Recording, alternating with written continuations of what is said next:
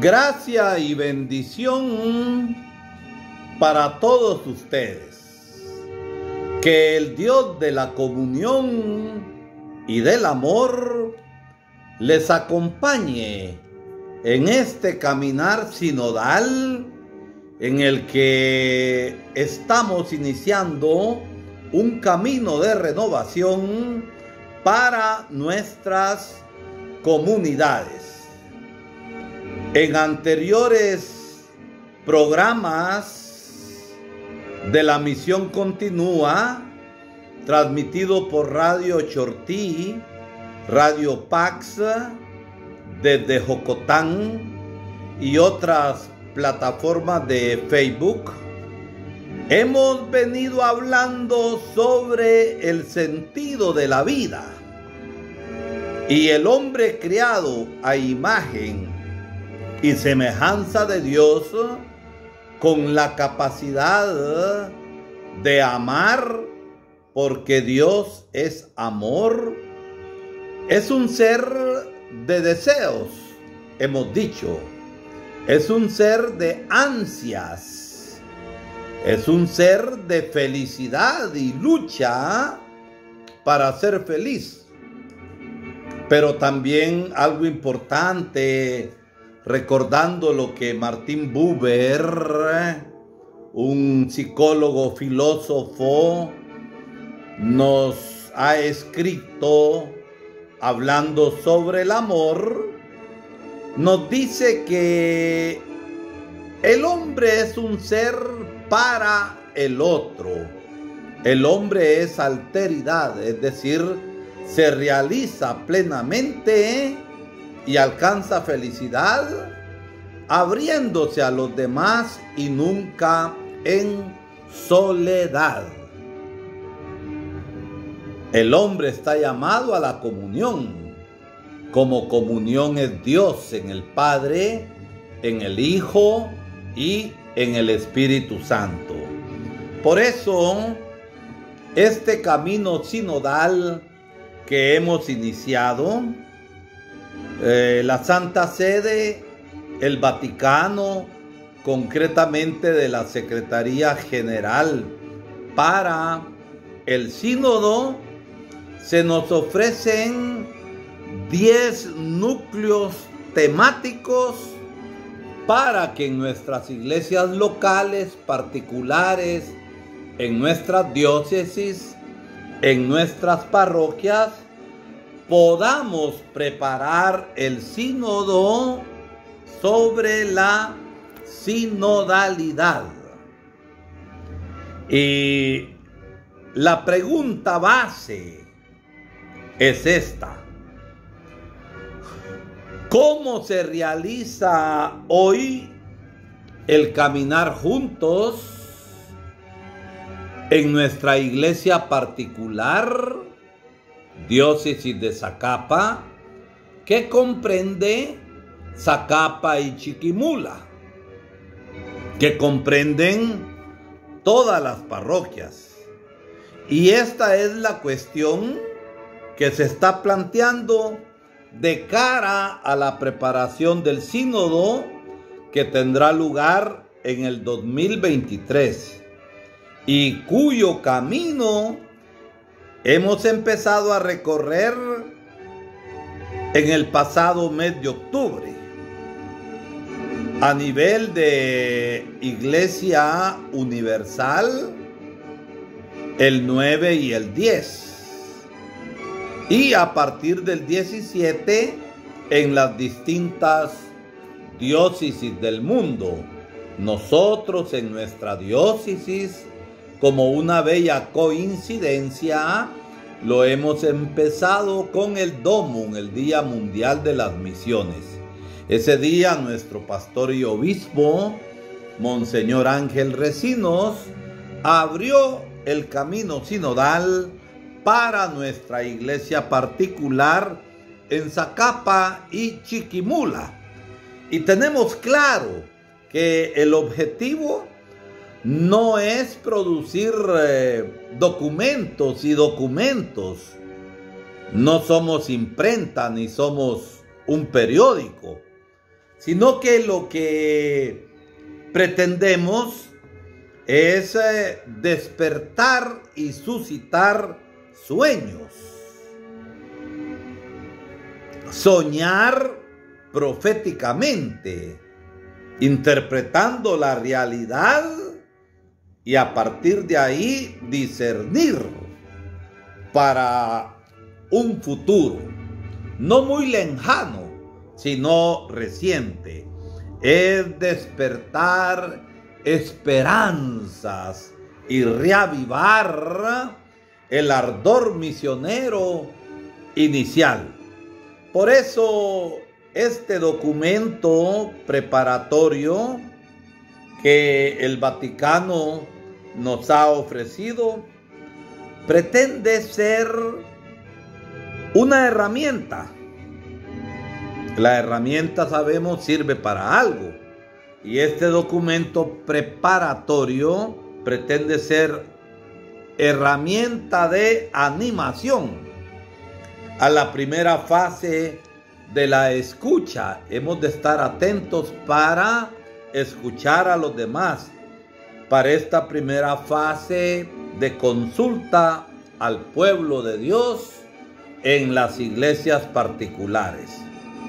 Por eso desde el martes 7 de septiembre se dio a conocer el documento preparatorio y el Vademecum, este instrumento, para indicar las líneas maestras el camino por el cual se va a orientar este sínodo sobre la sinodalidad. Es una iglesia sinodal. De hecho, todos tienen algo que aprender. Estamos abiertos a la verdad.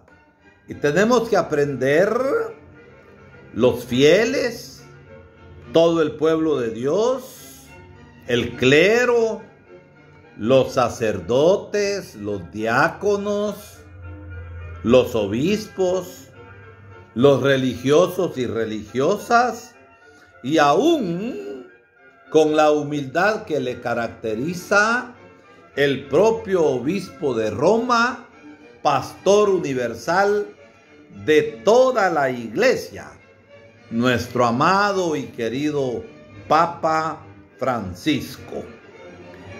Eh, la Secretaría General del Sínodo ha difundido este texto base y el Vademecum para orientar, para dar luces sobre el camino del sínodo dedicado a la sinodalidad, al caminar juntos que se ha abierto, repito, el 9 y el 10 de octubre en Roma y a partir del 17 de octubre en el resto de diócesis del mundo entero y que va a concluir en el Vaticano en el 2023. ¿Cuáles son las actitudes que hemos de tener en este caminar. Escuchar sin prejuicios, sin respuestas ya hechas. Abrir el oído y abrir el corazón. Tomar la palabra con valor, con parresía, con coraje, sin miedo. ¿Por qué? Porque la verdad nos hace libres. Será un gran diálogo con la iglesia, con la sociedad y esperamos con otras confesiones cristianas que sean también abiertas porque la situación de las iglesias llamadas así fundamentalistas eh, es muy difícil, pero tenemos que intentar este diálogo. La Secretaría General del Sínodo ha publicado este documento preparatorio y nos han dado las líneas maestras para recorrer el camino de la sinodalidad. El Vademecum, así se le llama, es un manual para las diócesis, para las iglesias locales, para las iglesias particulares. Y hemos dicho que el documento pretende ser sobre todo una herramienta para animar la primera fase de escucha y de consulta del pueblo de Dios en las iglesias particulares. Una especie de obra o experiencia piloto. Esa es la ayuda que se nos ofrece. Por eso es un manual que ofrece apoyos prácticos a todas aquellas personas involucradas en las diócesis para preparar y reunir al pueblo de Dios. Incluye este documento fuentes litúrgicas y bíblicas y oraciones que podemos consultar en línea, en internet, así como ejemplo de ejercicios sinodales y un glosario, un vocabulario de términos del proceso sinodal. No es un libro de reglas y de reglas cerradas. Se especifica como una guía para apoyar los esfuerzos de cada iglesia local, teniendo en cuenta que las culturas presentes en nuestras iglesias particulares, los contextos, es decir, la situación social, económica y religiosa que vivimos en nuestro propio ambiente, tener en cuenta los recursos, las riquezas y también las limitaciones y pobrezas que tenemos.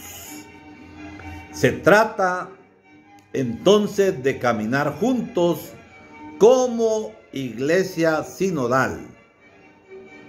Entonces hay una cuestión fundamental. ¿Cómo se realiza hoy en los distintos niveles, desde la iglesia local hasta la universal, desde las diócesis con sus parroquias hasta toda la iglesia universal, ese caminar juntos, ese caminar juntos que permite a la iglesia anunciar el Evangelio de acuerdo con la misión que se le ha confiado. Y qué pasos nos invita a dar el Espíritu Santo para crecer como iglesia sinodal. Para responder a esta pregunta se indican pasos concretos. En primer lugar, vivir un proceso eclesial participativo, donde todos sean tomados en cuenta y no inclusivo marginar a personas. Un proceso eclesial participativo que ofrezca especialmente a los marginados dar la oportunidad de expresarse y ser escuchados. Después, reconocer y apreciar la riqueza y la verdad de los dones y carismas y examinar, discernir cómo se vive la responsabilidad y el poder en la iglesia. Y recordemos que el poder es servicio, autoridad para servir. Y las estructuras a través de la cual se van realizando estas cosas, sacando a luz qué cosas. Los prejuicios, los modos de pensar incambiables y las prácticas torcidas, distorsionadas, que no tienen su raíz en el Evangelio. También pide que la comunidad cristiana sea acreditada como un actor creíble y socio fiable, es decir, que seamos leales a los principios de escucha, a los principios de comunión en este camino de diálogo para la reconciliación.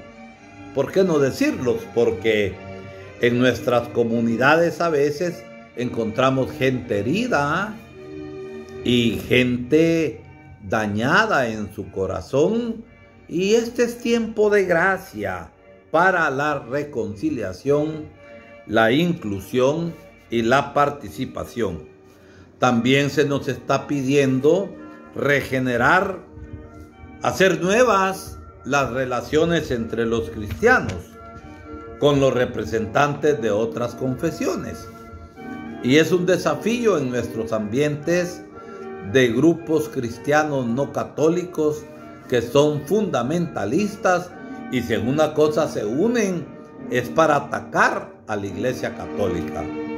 Nosotros por práctica nunca atacamos. También de estar abierto con las organizaciones sociales, de la sociedad civil y los movimientos populares. La crisis, la pandemia y el abuso.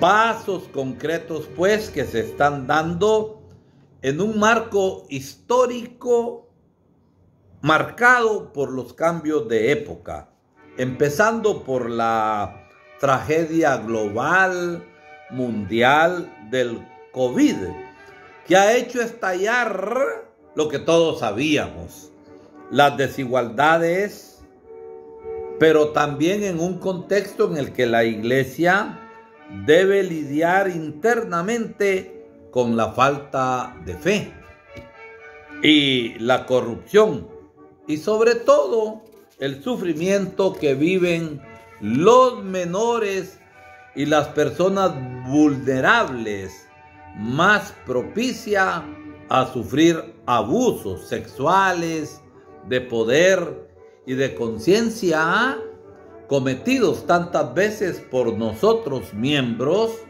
de la iglesia, laicos y también clero.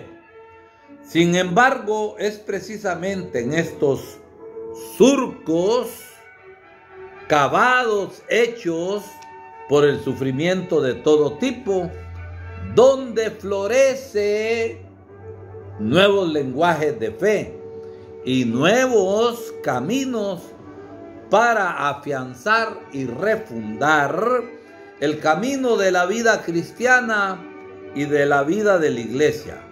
Por eso este sínodo es un motivo de gran esperanza y la esperanza se agiganta porque ya varias iglesias particulares han iniciado ya encuentros y procesos de consulta con el pueblo de Dios. Algo que hemos de tener siempre presente es que los laicos, los fieles, como decimos, los bautizados, que no son el clero y que no son los religiosos y religiosas. Los laicos son sujetos activos de la evangelización. Y en cuanto a los laicos, el documento afirma que todos los bautizados son sujetos activos de la evangelización. Por ello es fundamental que en este camino sinodal los pastores no tengan miedo de escuchar al rebaño que se les ha confiado. En una iglesia sinodal, de hecho, todos tenemos algo que aprender. Fieles, clero y el propio obispo de Roma. Uno escucha a los demás y todos escuchan al Espíritu Santo. También porque una iglesia sinodal es una señal, un signo profético para la comunidad de naciones, incapaz de proponer un proyecto compartido a través del cual perseguir el bien de todos. Esto falta en el mundo y la iglesia, recordemos, es eh, sacramento histórico de salvación. Sacramento histórico, presencia de Jesucristo en el mundo, con sus problemas, con sus esperanzas. Entonces ahí nosotros vamos dando razones de nuestra esperanza y nos convertimos en testigos del reino de Dios. Hay preguntas para las iglesias particulares, para las diócesis, para ir haciendo la consulta al pueblo de Dios. ¿Cómo se realiza el caminar juntos en nuestra iglesia? Concretamente en nuestra diócesis de Zacapa, en Chiquimula y Zacapa. La invitación es a que nos preguntemos qué experiencias han tenido lugar en nuestra diócesis a este respecto. Recordemos que desde el año 86 venimos caminando en planeamiento pastoral que ha sido participativo. Nuestro tercer obispo, Monseñor Aníbal Casasola, inició la fase de preparación en tres años a lo que se llamaría el sínodo diocesano, a caminar juntos. ¿Cuáles son las alegrías? ¿Cuáles son las dificultades? O incluso las heridas que hemos provocado. ¿Y cuáles son las líneas de cambio, las perspectivas para los pasos a dar? Y hay que tener presente en cuenta las relaciones internas de las iglesias particulares de la diócesis, las relaciones entre los párrocos, entre los sacerdotes, entre las parroquias, entre las comunidades, pero también entre los obispos, entre ellos y con el Papa, con los distintos grupos de integración en las diferentes formas de vida religiosa y consagrada, si no ha habido encerramiento y prejuicio mutuo, donde algún movimiento se cree superior a los demás de vida perfecta y por eso no participan en las actividades de la parroquia, son como grupos cerrados y sectarios. Hay que considerar las relaciones y posibles iniciativas conjuntas, si se permite, que podemos tener con otras religiones, con las personas alejadas de la fe, con el mundo de la política, la cultura, la economía, el trabajo, los sindicatos y las minorías. ¿Por qué? Porque ha de ser una sinodalidad vivida. Por último, el documento preparatorio prioriza, da el primer lugar a 10 núcleos temáticos para ordenar y articular la sinodalidad vivida. Hay que profundizar en ellas para enriquecer aún más la consulta. Compañeros de viaje, reflexionar sobre quienes forman parte de lo que llamamos nuestra iglesia, así como quienes son los compañeros que están fuera del perímetro eclesial o que se quedan a las orillas o que se quedan a los márgenes. Hay que invitarlos a participar. La escucha. Los jóvenes, las mujeres, los consagrados, los descartados, es decir, los que no valen en nuestra sociedad, los excluidos, porque ellos mismos se autoexcluyen y a los excluidos que nosotros hemos sacado y marginado con nuestras actitudes. Tomar la palabra Considerar, por tanto, si se está promoviendo un estilo de comunicación libre y auténtico, sin duplicidades, sin oportunismos, sin intenciones escondidas. un ambiente de libertad dentro de la comunidad. Celebrar, evaluar la oración y la liturgia si inspiran y guían de modo eficaz el caminar juntos y cómo se promueve la participación activa de los fieles. Corresponsabilidad en la misión una reflexión sobre cómo la comunidad apoya a sus miembros comprometidos en un servicio.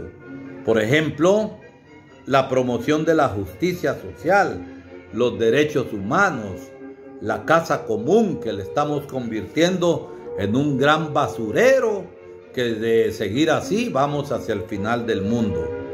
La corresponsabilidad en la misión es decir, una reflexión sobre cómo la comunidad apoya a sus miembros comprometidos, el diálogo con la iglesia y en la sociedad, repensar los lugares y las modalidades del diálogo con las iglesias particulares vecinas, es decir, con las diócesis vecinas, con las comunidades y movimientos religiosos, con las instituciones con los que no creen y con los pobres, y con otras confesiones cristianas, nos dicen.